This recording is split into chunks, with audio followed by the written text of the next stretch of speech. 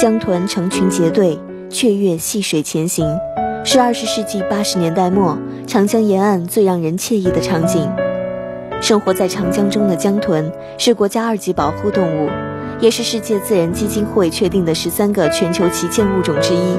因为稀少，有“水中大熊猫”的美誉。也许是因为长江素来物产丰茂，这些精灵生来就带着天然的微笑。然而时过境迁，微笑的江豚转眼变成了哭泣的江豚。长江里面两种鲸类动物嘛，应该在世界上其他的河流里头很少有这种现象，很少有这种这种这种机会，就是两种鲸类同时生活在同一个河流里面。但是白鳍豚现在基本上是看不到了，我们认为就是极可能是灭绝了。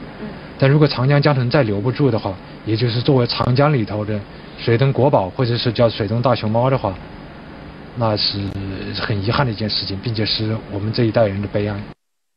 长江江豚和白鳍豚是长江中仅有的两种鲸类哺乳动物。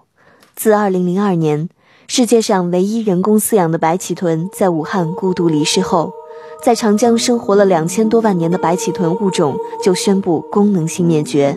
目前生活在长江流域的长江江豚，据统计仅存千余头。2012年的四月。对江豚来说最为残忍。湖南洞庭湖一周内死亡江豚九头，安徽安庆江段死亡江豚八头，鄱阳湖死亡三头。短短一个月，竟有二十头江豚赫然长逝。到了五月二十一日，确认死亡的江豚已达三十三头，其中不少还是幼豚或者怀孕的母亲。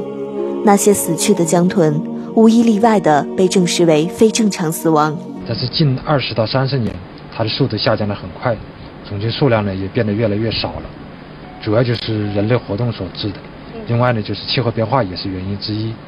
也就是说，它数量之所以下降那么快，主要就是环境的变化的强度远远超过了江豚适应的能力范围。